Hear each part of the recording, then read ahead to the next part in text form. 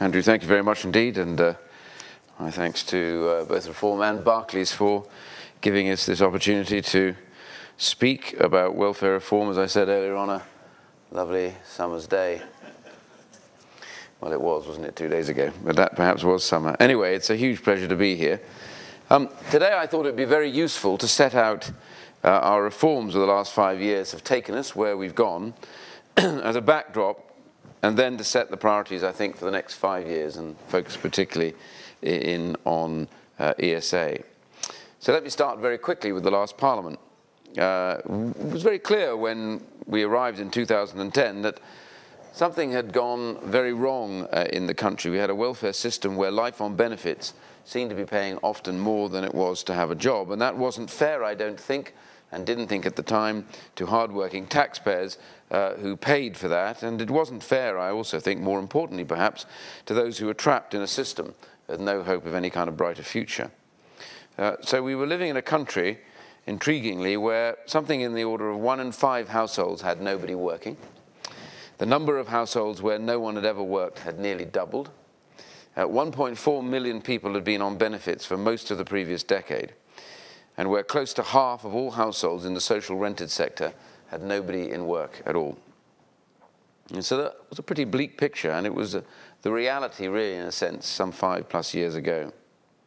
So under the last Labour government, welfare spending went up over 60%, and the benefit systems cost nearly every household an extra £3,000 a year. Spending on tax credits increased by 335%, at some £23 billion. So it's clear uh, that that approach of the last government to parceling out and handing out money to lift people over an arbitrary poverty line didn't seem to be working. And of course, money has and is a vital important role to play, but greater and greater money handouts are not exactly the way of extending opportunity. They weren't actually transforming the lives in any particular way, and they failed to improve those life chances. The government spending was uh, poorly targeted, and there was a focus on inputs rather than outcomes. And the result, I felt, was a country where worklessness had become ingrained in certain communities.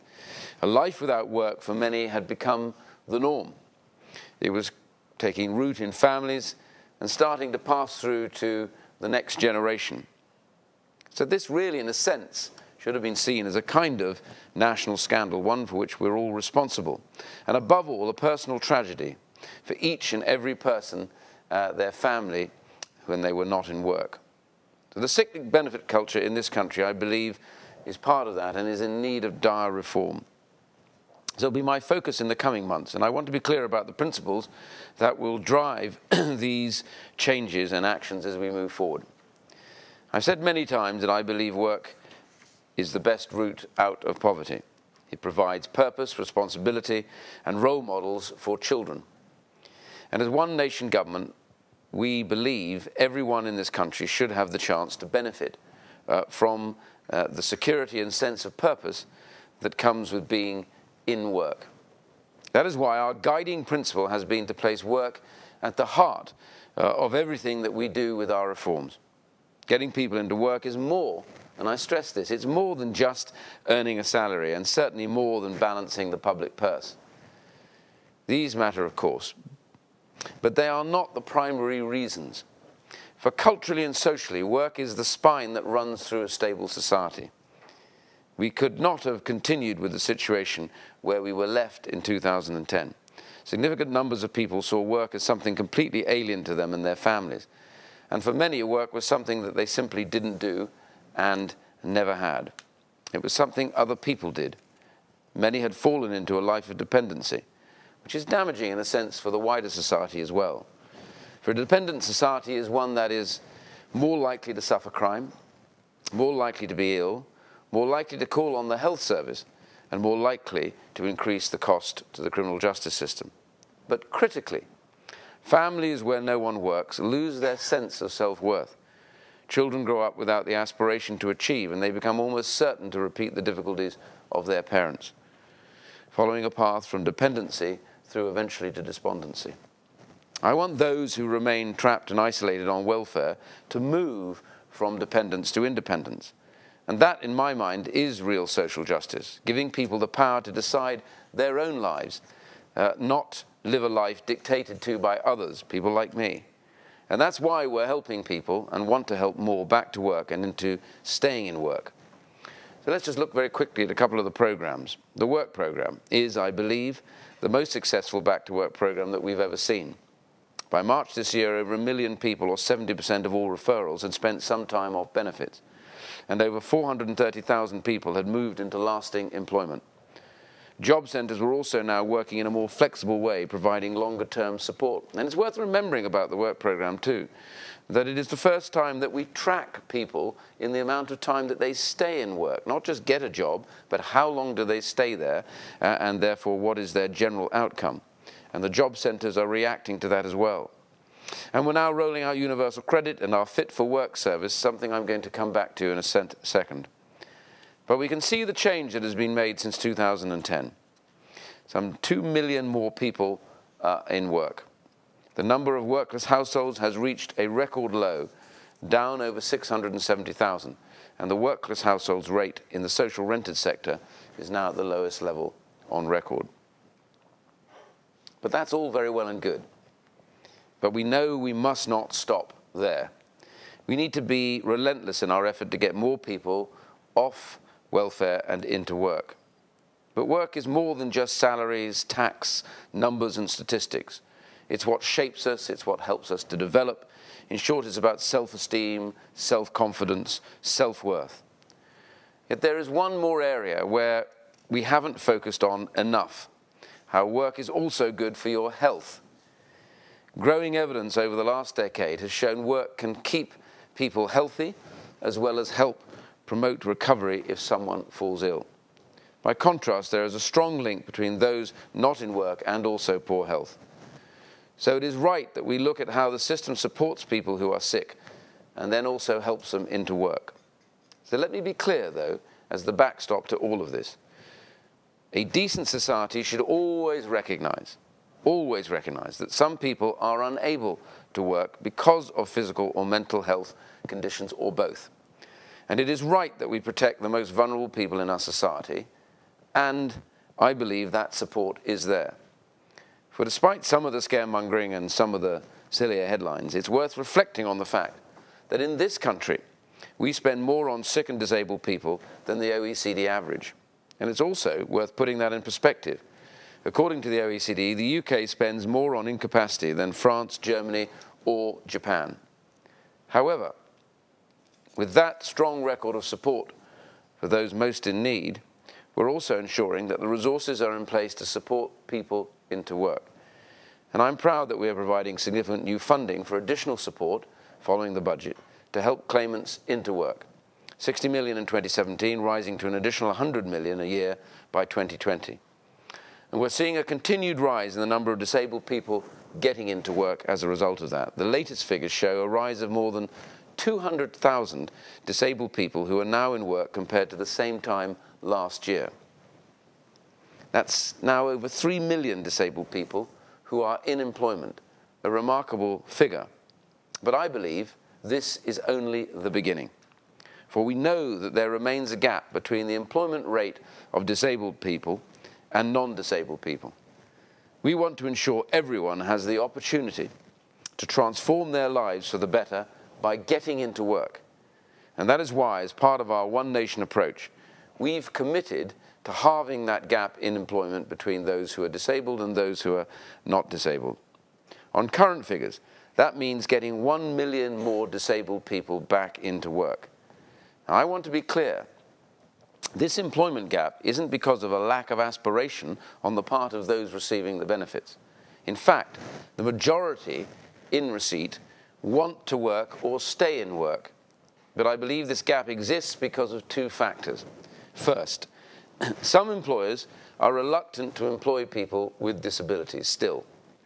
And that is why we set up a few years ago the Disability Confident campaign.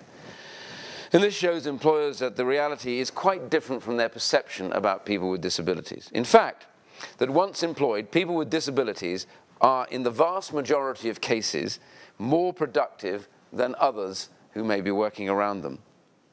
And that often causes businesses to stop for a second and recognize uh, that they have made a mistake. And second, the poor quality of support uh, that they receive leads too many sick and disabled people languishing in a life without work when work is actually possible for them. It is this support that I want to turn to now.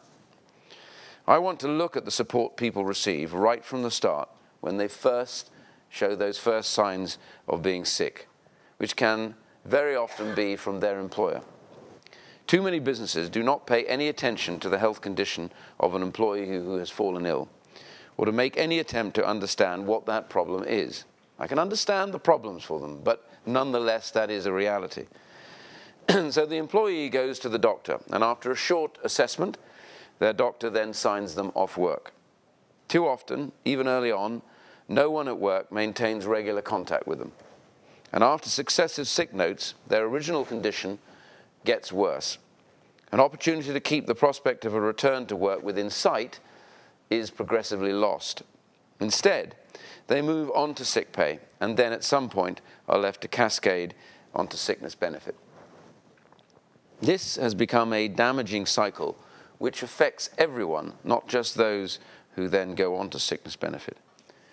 Instead, I believe employers need to recognize the importance of staying in touch with their staff when they get sick and of providing early support to someone to stay in work or to get back to work. This makes sense, I believe, for three very important reasons. First, it makes sense for a business who invests a lot of money in their staff, developing and training them, not to lose that investment through uh, long-term worklessness. We know each month a person is on uh, sickness benefit, that will be a damaging process for them. So that absence could be avoided, and that process benefits the business who's invested the money. Second, it makes sense for society by stopping people falling into expensive sickness benefits and then onto long-term worklessness. As I said, each month a person is on sickness benefits, they become progressively less likely ever to work again. And third, and I believe perhaps most importantly of all, it makes sense to ensure that a fellow human being isn't written off with all the negative consequences that follow for them and their families. Now, some companies do understand this. They realize the benefits of investing in staff health and well-being. And they've come to see that it improves productivity and reduces the cost of sickness absence. In these organizations, employers who fall sick will experience regular and direct communication they will receive a work-focused health assessment to overcome any obstacles to a return to work and review what work they can do and what support they need to do it.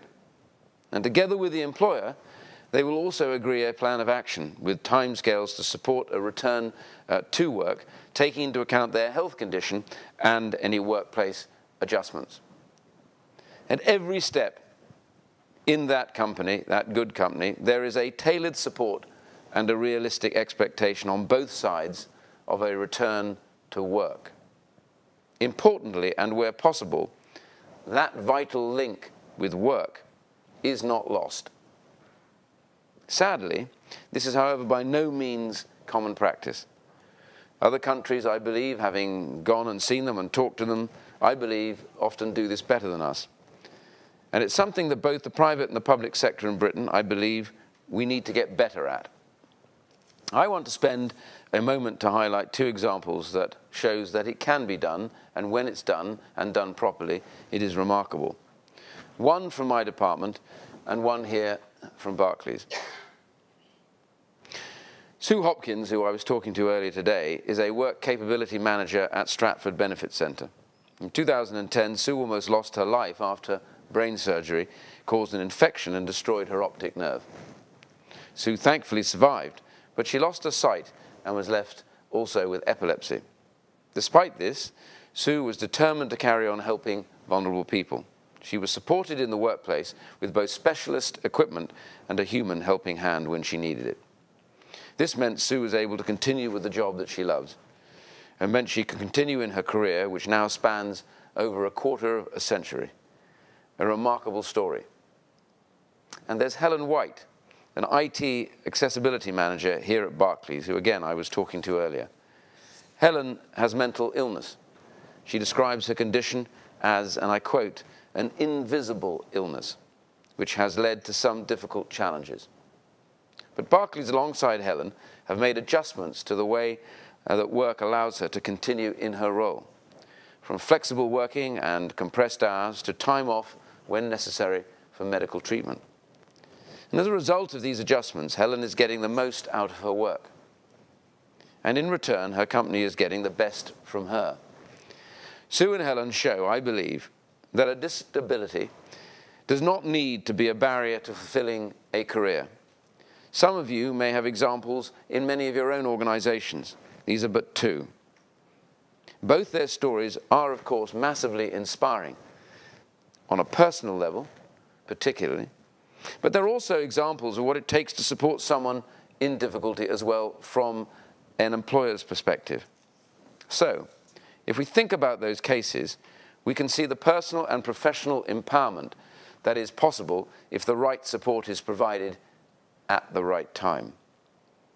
But employers can't do it alone. I recognize that. GPs are also in that process. They need to see the health benefits for the patients of early support and a return to work.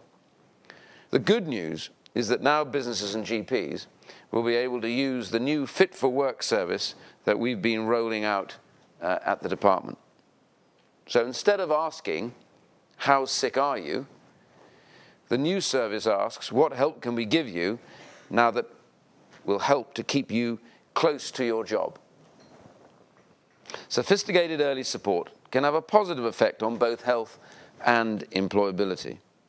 And we're also working with the Department of Health so that GPs routinely send people uh, fit for work to get their return to work plan.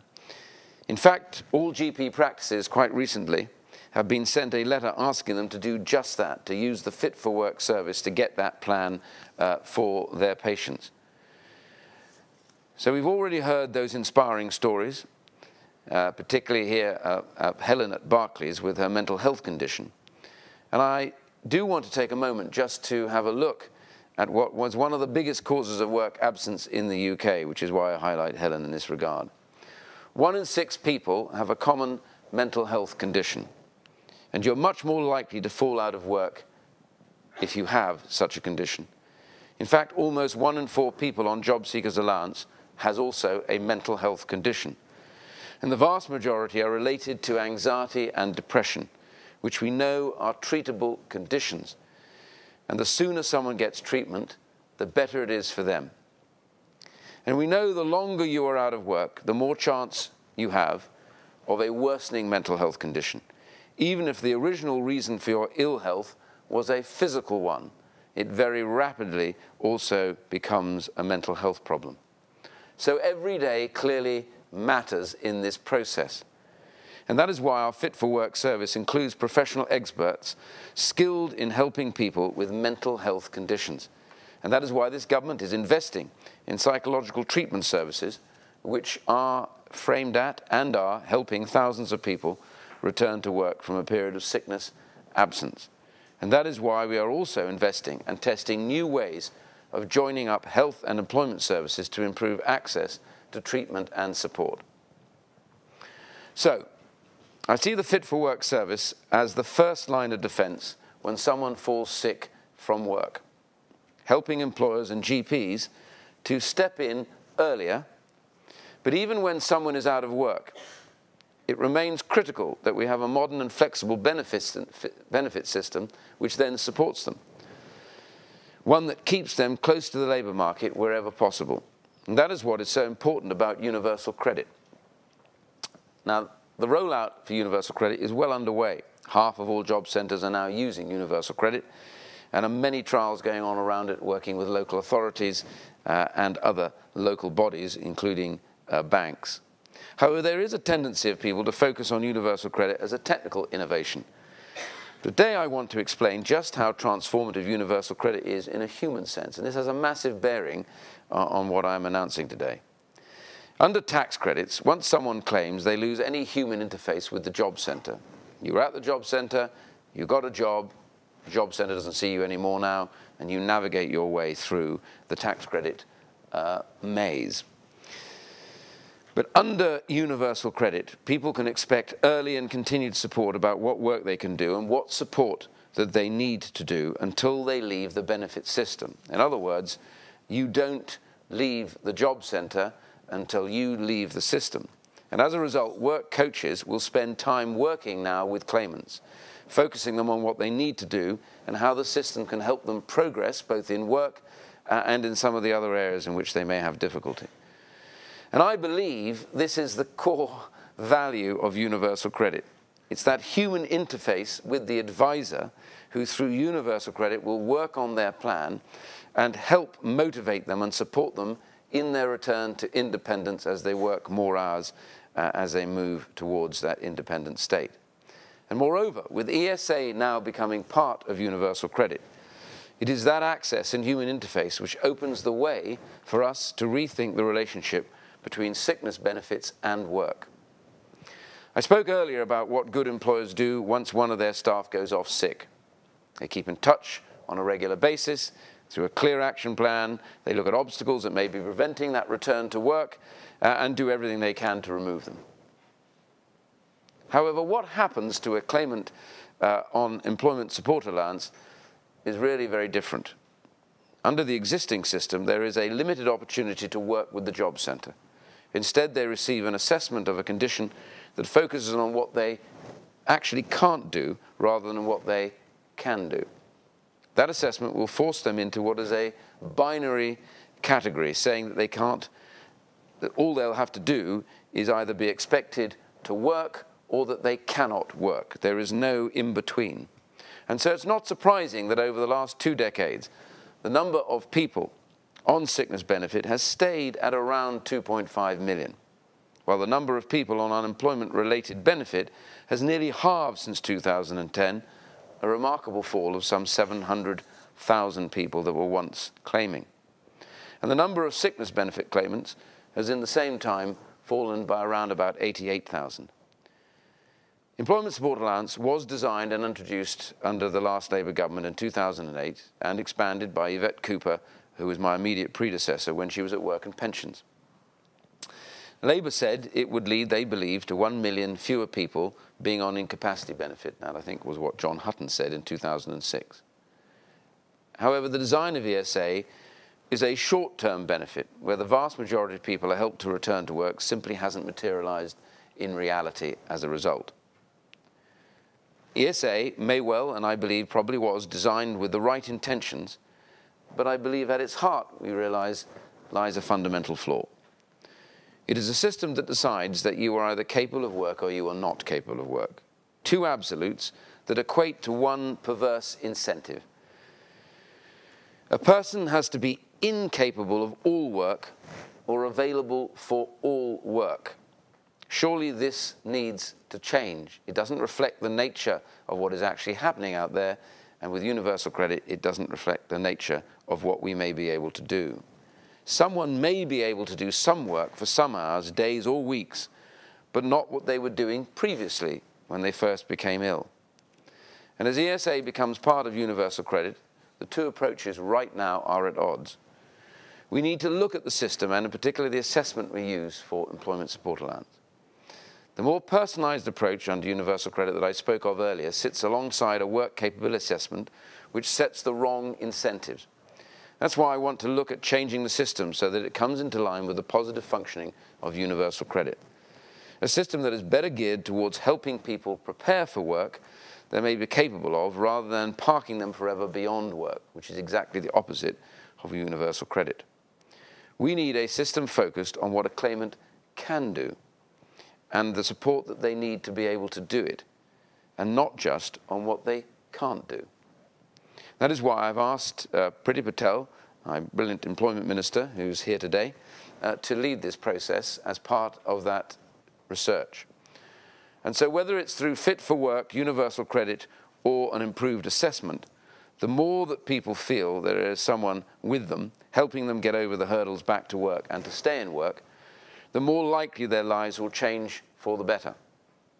I want to place people at the heart of a system and make the system work around them rather than the other way round has been the case. It was this back to front approach which we had inherited, a system that people crashed into and struggled to figure out too often. Over the course of the last parliament, uh, you know, the Labour Party uh, stood in opposition to all of our reforms to sort out this flawed system. Given commitments from each of the lead leadership candidates standing today about the Welfare and Reform Bill, I suspect uh, they will continue on this path uh, of blanket opposition. My challenge really to them politically today is to look at the reforms that I am proposing, which are about, I believe, transforming lives, to give everyone in this country a chance of a better life, a chance to fulfill their potential. Uh, I would hope that is something we can all support and I would offer uh, to all parties that this is an opportunity to engage uh, so that we can all together find this solution. As part of the one nation approach that I spoke of earlier, I believe we are committed to continuing to reform this system so that it travels with people through every step of their journey from dependence to independence. When we achieve that, we will finally have a welfare system that I believe is fit for the 21st century, a welfare system that focuses on those most in need and helps ensure that people who can become independent from the state and live better and more fulfilled lives. Thank you very much.